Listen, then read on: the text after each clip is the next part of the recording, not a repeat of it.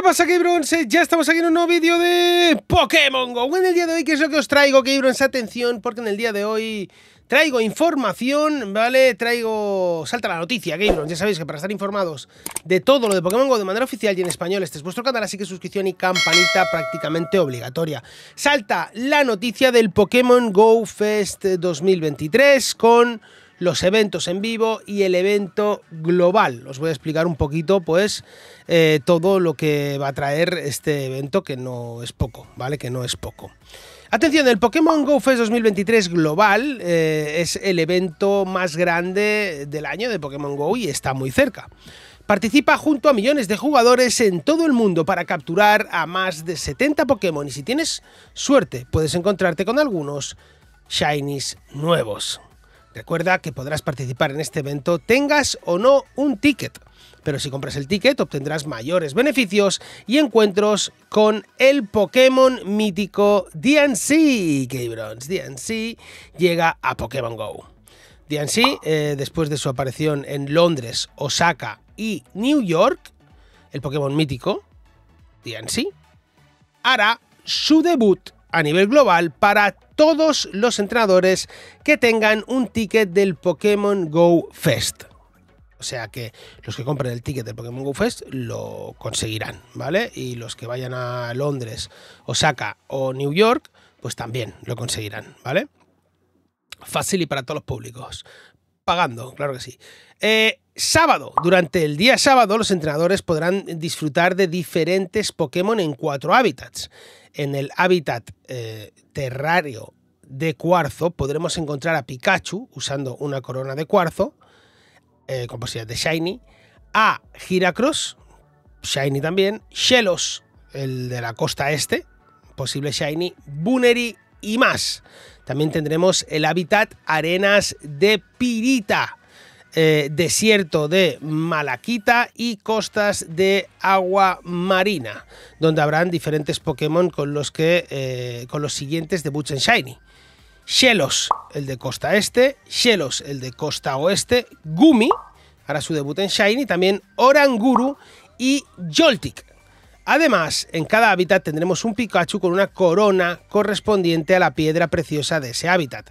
Cuarzo, pirita, malaquita y agua marina. Todos estos Pikachu pueden salir en Shiny, ¿vale? Cada uno de ellos.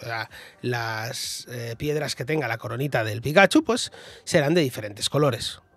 El domingo. El domingo todos los Pokémon que aparecerán durante los hábitats del sábado también aparecerán el domingo pero sin sus hábitats, es decir, todos juntos durante todas las horas del evento, ¿vale? Ya todos ahí, ¡guau! por botones.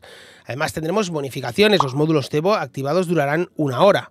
Habrán diferentes investigaciones de campo en cada hábitat y el límite del uso diario de pases de incursión remota será aumentado a 20 por día durante ambos días, o sea, un total de fin de semana que podremos usar 40 eh, pases de incursión remota. Y podremos tomar una instantánea, ¿vale? Una foto, para tener una sorpresa. Ya veremos cuál es dicha sorpresa. Camisetas. No podremos decir aún cuál es la temática de la camiseta del evento, ya que es un misterio sin revelar. Pero mientras esperamos el arte oficial, ya puedes preordenar tu camiseta, si quieres. Ahí está. Tendremos experiencia de juego con ticket. Los que compren ticket, además de lo que hemos dicho anteriormente, obtendrán una investigación especial que te dará un encuentro con el Pokémon mítico Diancie. Además, durante cada hábitat del sábado, los entrenadores eh, deberán trabajar juntos en distintos desafíos globales que al completarlos se activará una bonificación especial en lo que resta de la hora de cada hábitat mayor posibilidad de encontrar Pokémon Shiny si compras ticket. Además, hasta 6 intercambios especiales por día podrás hacer. Podrás, eh, tendrás desafíos de colección relacionados con cada hábitat. Hasta 9 pases de incursión gratuitos al girar fotoparadas y, o fotodiscos, ¿vale? De gimnasios. O sea, al girarlo. No, fotoparadas no. Eh, fotodiscos de gimnasio. Los de las paradas, no, qué narices. Eh, huevos de 7 kilómetros especiales. Y encuentros especiales en incienso. Como son la letra A, D, I, M, que son debut, Shinies, ¿vale? Eh, N, O, también Shinies, Growlite de Isui, Ponyard, posible Shiny, Carnimine y Pachirisu. O sea, tendrá, tendrá dos también eh, Pokémon eh, regionales, ¿vale? Que si no los habéis capturado porque no habéis viajado hasta esa zona, pues los podréis capturar. Tendremos también el debut de Carving.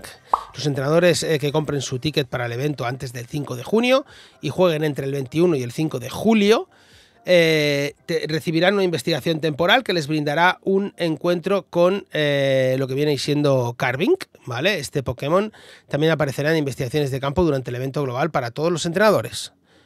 Atención, ahora voy a hablar de cada uno de ellos, ¿vale? Pokémon Go Fest 2023 de Londres y Osaka son del 4 al 6 de agosto en el Brookwell Park y en la, de la ciudad de Londres y también en el Expo 70 Commemorative Park de la ciudad de Osaka, ¿vale? O sea, estos son a la vez y traen lo mismo. DNC hará su debut en este evento, cuatro hábitats diferentes, la jungla oscura, el jardín de hadas, glaciar y hipnótico e islas volcánicas. Debut de Jupiter Shiny y Petiril Shiny, estos dos debutan. Debut de Aerodactyl Shiny, utilizando un bolsito, ¿vale? Ya lo veréis, es súper guapo. Aparición de un no exclamación, ¿vale? Un no exclamación. Em, yo creo que es posible Shiny, ¿vale? No, no, no sé si... Bueno, ahí lo dejo. Creo que será posible Shiny, creo. Eh, investigaciones de campo exclusivas tendremos, ¿vale? Además, eh, desafíos de colección para cada hábitat se podrán tomar instantáneas para sorpresa y Sigilis será, será el Pokémon regional destacado. Yo os tengo que decir, ¿vale? Que yo iré al de Londres, ¿vale? Yo iré al de Londres. Así que si alguno de vosotros va a Londres, oye, pues estaré ahí también firmando autógrafos y tal, en, la zona de los autógrafos, eh, cada día, dos horas. O sea que si vais, venid a verme, ¿vale? Saludadme, dadme un abrazo y nos abrazamos ahí bien fuerte, claro que sí. Eh, tenemos también el Pokémon Go Fest de Nueva York. Este no voy a poder ir, ya os lo digo. Del 18 al 20 de agosto en el Randall's Island Park de la ciudad de Nueva York. DNC aparecerá en este evento. Cuatro hábitats diferentes: volcán prehistórico, eh, pantano venenoso, tesoros malditos y campo de atletismo. El debut de Skrelp Shiny y Golet Shiny en este.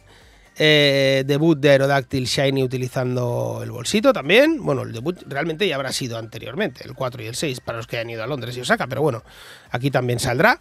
Y la aparición de un no exclamación también aquí, ¿vale? Después tendremos investigaciones de campo exclusivas, desafíos de colección para cada hábitat, toma de instantáneas para una sorpresa y Sigilif también será el Pokémon eh, regional destacado. Esto es lo máximo que he podido resumir, ¿vale? Este evento, porque la verdad que es, o sea, te explican las horas, que si tienes que jugar primero en el, en el parque, luego fuera, luego, eh, bueno, eh, yo os lo explico aquí más o menos qué es lo que nos interesa, ¿no? Los debut shinies y todas las cositas, los Pokémon que van a salir en cada uno, ya luego si cada uno quiere ir a uno en especial, pues ya, pues ya se puede informar de qué es lo que trae cada uno de ellos, a qué hora puedes coger el, en el parque, a qué hora vas después, a que dónde tienes que jugar después, y todas estas historias, ¿vale? Porque eh, son, pues bueno, es, es, eh, farragoso, ¿no? Para traerlo en un vídeo de noticia que no, a todo el mundo le interesa, ¿vale? Lo que vaya a hacer los de Osaka, Londres o New York. Así que yo creo que lo he resumido bastante bien, ¿vale? Eh, y espero que os haya gustado el vídeo. Que le deis un like bien fuerte, comentad qué os parece, suscripción y campanita y mucha suerte en lo que viene pues vuestras capturas del GoFest, claro que sí. ¡Boss!